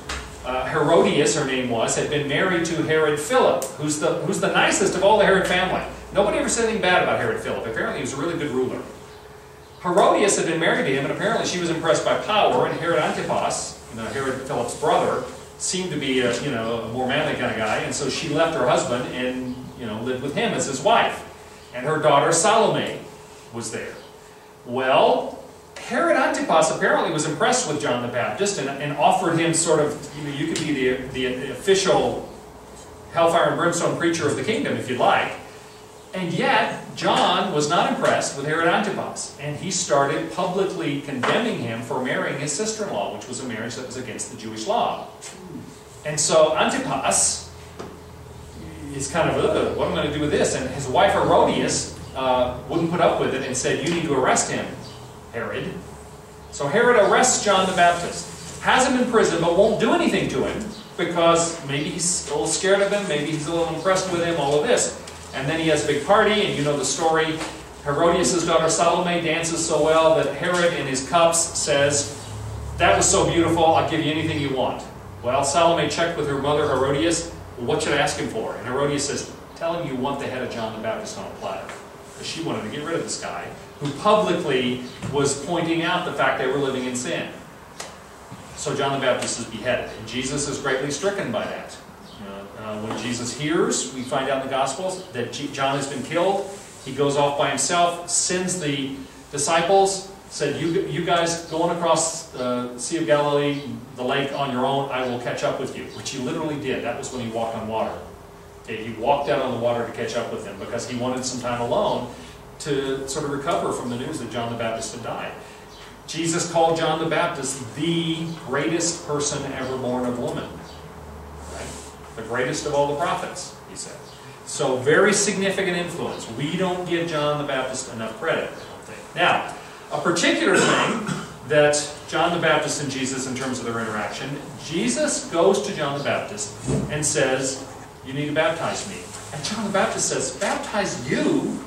You should baptize me. Because John, in the same way that Simeon and Anna were righteous people, and that righteousness God allowed them to recognize Jesus the baby as the Messiah, John the Baptist was a righteous man before God, and he, in the same way, was able to recognize Jesus as the Son of God as an adult. And so Jesus says, Baptize me. John the Baptist says, What? You should baptize me. Jesus says, No, do this so that all righteousness can be fulfilled.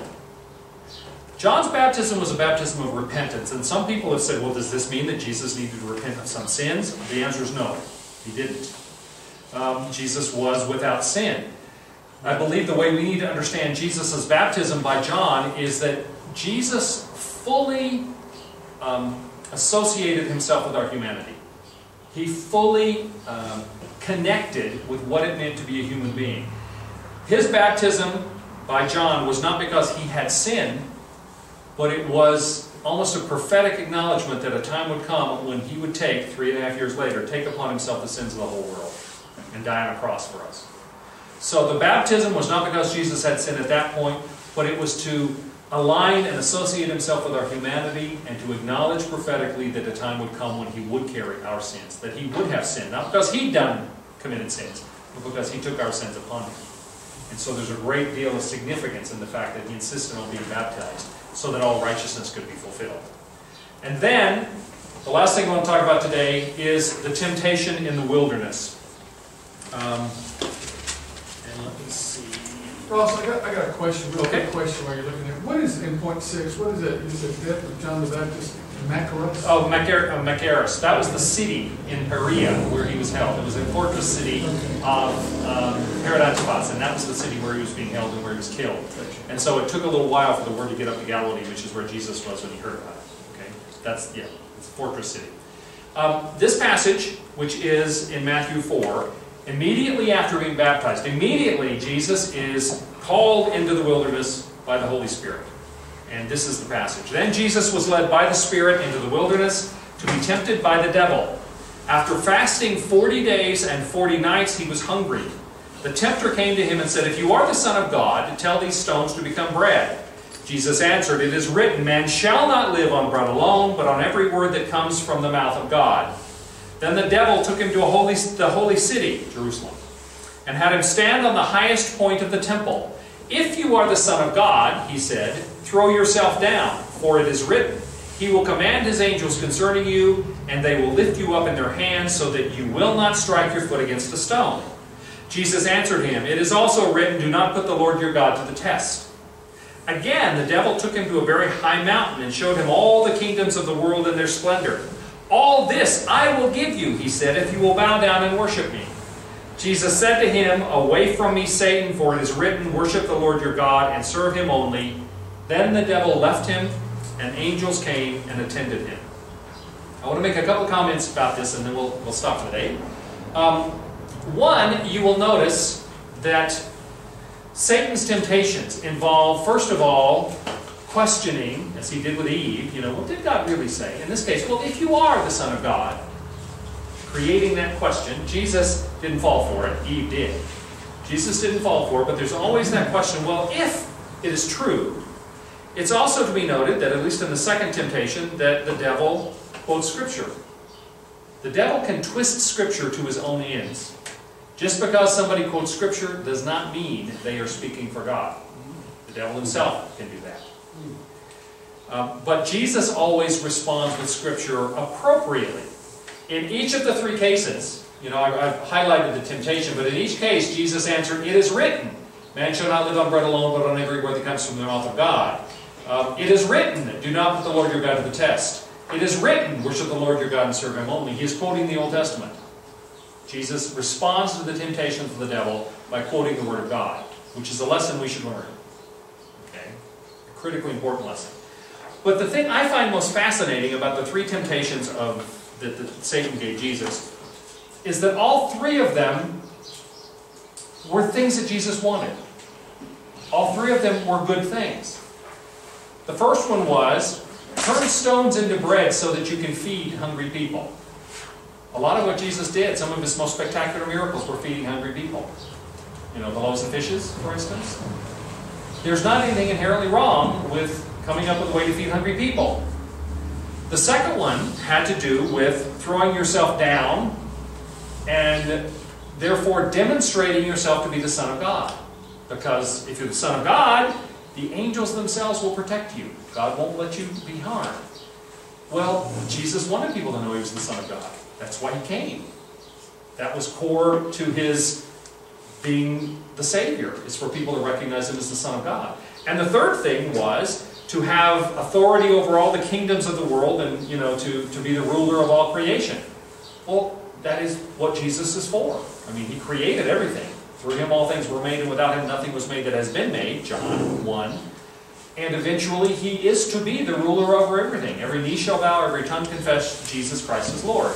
All three of these things, feeding hungry people, being acknowledged as the Son of God in power, having authority over all the kingdoms of the earth and all of creation, all three were things that Jesus wanted to accomplish and eventually will accomplish. And yet, this is a perfect example to me that the ends do not justify the means. It's possible to want the right thing and to try to get it in the wrong way. In each case, the devil was offering shortcuts that would not ultimately be honoring to God. The most obvious one of those is the devil, who is the ruler of this world, we are told in Scripture, offers to allow Jesus. If Jesus will worship the devil, allow Jesus to go ahead and shortcut, get there quick, and be the ruler over all the kingdoms of the earth. No, that's not how to get there, even though that's what's going to happen eventually. A lot of things had to happen before that. You know, turning stones into bread. The problem there is that everybody's more worried about the bread than they are the one who did the work. This was a problem Jesus had in his ministry as he would preach to people. They didn't want to hear him preach. They wanted to see miracles. They wanted him to heal them or, or drive out demons. You know, everybody, lengthen my leg. You know, make me taller. I, I'd like to have hair, thank you. Whatever it was, that's what they were focusing on. Jesus struggled to get them to, to stop demanding healings or miracles and listen to the message. So just giving the bread was not the whole point. If they acknowledged that he was the Son of God because he did some giant magic trick, rather than believing that God the Father had sent his Son because he loves us and he wants us to be in relationship with him, that wouldn't get us where we wanted to go. The ends do not justify the means. Don't ever get tricked into believing that. It's a lie from the pit of hell, and this is a perfect example. The ultimate results of all three of these will be achieved. The hungry will be fed, the Son of God will be revealed in power, and Jesus, the Son of God, will be the ruler over all of the kingdoms of all the earth. All of those things will eventually happen, but they'll happen the right way, not the wrong way. Okay? Critical messages in there. This is the wilderness is something we, the wilderness temptation we sort of skip over without realizing that this is for us. There's a reason why all four gospels contain this. Any questions or comments about any of that? Anything?